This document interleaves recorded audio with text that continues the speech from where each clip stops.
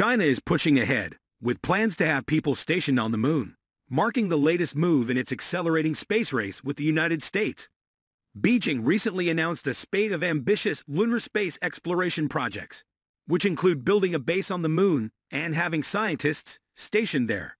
In a statement on China's Space Day on April 24, China National Space Administration, CNSA, Deputy Director Wu Yanhua said China will start the fourth phase of its lunar exploration program this year, which covers multiple things. The main goal of this phase is to conduct scientific exploration at the lunar South Pole to facilitate the construction of a permanent robotic lunar base, able to accommodate long-term human stays. Welcome back to Tech Trends for All. Before we proceed, kindly subscribe to our channel and hit the bell icon to stay updated when we release new videos.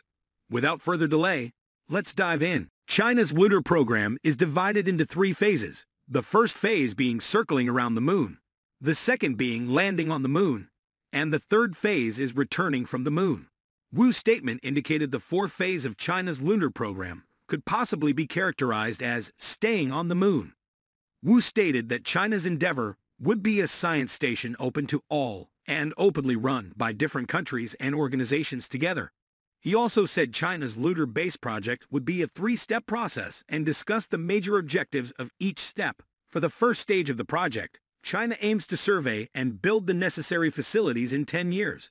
After that, China plans to build a science station for the second stage of the project, with engagement from different countries, organizations, and the private sector. The third and final stage would focus on operations, where the station would provide good conditions for global scientists.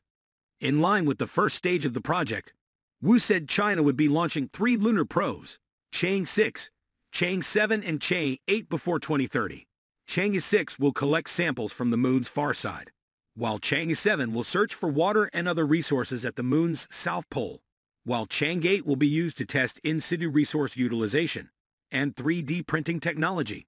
In addition to successive moon probe launches, he added that China was planning to set up a satellite constellation around the moon for communication and navigation purposes. Wu also inaugurated an international cooperation center for satellite data and applications under the CNSA and a data and application center for the remote sensing satellite constellation of BRICS countries. He also discussed China's plans to build an asteroid defense system which can detect and hit asteroids. Wu said the CNSA plans to test a system by 2025 to 2026 by monitoring and deflecting an asteroid to avoid it hitting the Earth. Wu was keen to emphasize international participation in China's space projects. The CNSA has always promoted openness and international cooperation, and China has called on all countries to work together to build a global community with a shared future in outer space, he said. At the same time, CNSA head Zhang Kejian said China will uphold the principles of equality, mutual benefit, peaceful use and inclusive development, and adhere to the concept of peace and cooperation. He also added that China would make greater contributions to the exploration of the universe, people's well-being, and the progress of human civilization, and work with global partners to build a community with a shared future for humanity in outer space. These efforts are in line with China's accelerated plans to establish a long-term lunar presence. In January, China and Russia announced plans to set up a joint moon base by 2027, eight years earlier than originally planned. China is barred from participating in U.S. joint projects by the Wolf Amendment, a 2011 measure prohibiting NASA from cooperating with China without special approval from Congress. As a result, China is excluded from the U.S. Artemis program, which is the U.S.-led effort to establish a long-term lunar presence. Russia has refused to join the Artemis program, saying it is too U.S.-centric in its current form. Russia also decided to withdraw from the International Space Station, ISS, due to sanctions imposed over its invasion of Ukraine, severing one of the few remaining avenues for U.S.-Russia cooperation. Major spacefaring countries such as China, Russia, and the U.S. are driven by political, economic, and military factors in their lunar ambitions. In the wake of recent trends and phenomenon that have profound effects on the international system, such as the rise of populism, the COVID-19 pandemic, and the war in Ukraine, these goals are increasingly pursued within the context of great power competition, deglobalization, and the emergence of a multipolar world order on Earth. On pre-January 2019, the Chinese spacecraft Chang'e 4 descended toward the moon. Countless craters came into view as the lander approached the surface, the fractal nature of the footage providing no sense of altitude. Su Yan, responsible for data reception for the landing at Miyun Ground Station in Beijing, was waiting, nervously and in silence with her team, for vital signals indicating that optical laser and microwave sensors had combined effectively with rocket engines for a soft landing. When the spectral signals were clearly visible, everyone cheered enthusiastically. Years of hard work had paid off in the most sweet way. Su recalls, Chang'e 4 had, with the help of a relay satellite out beyond the moon, made an unprecedented landing on the always hidden lunar far side.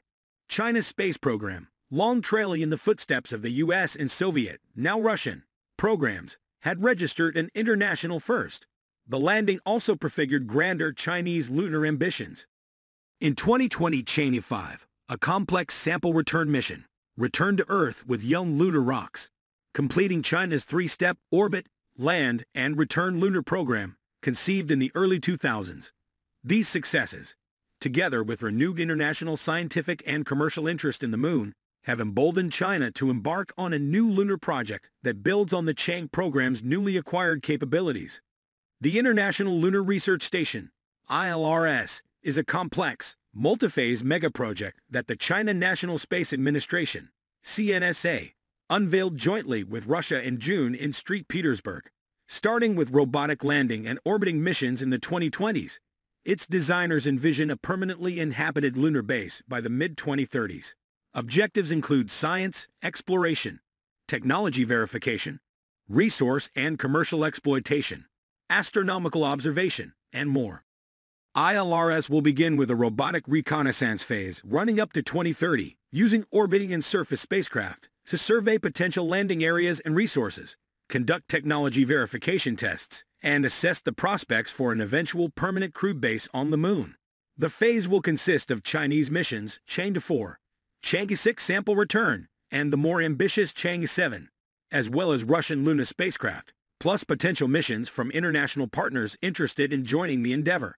Chang'e 7 will target a lunar South Pole landing and consist of an orbiter relay satellite, lander, and rover. It will also include a small spacecraft capable of hopping to explore shadowed craters for evidence of potential water ice, a resource that, if present, could be used in the future for both propulsion and supplies for astronauts. CNSA will help select the site for a two-stage construction phase that will involve in situ resource utilization, ISRU, test with Chang'e 8 massive cargo delivery with precision landings, and the start of joint operations between partners. ISRU, in this case using the lunar regolith, the fine dust, soil, and rock that makes up most of the moon's surface, for construction and extraction of resources, such as oxygen and water, would represent a big breakthrough.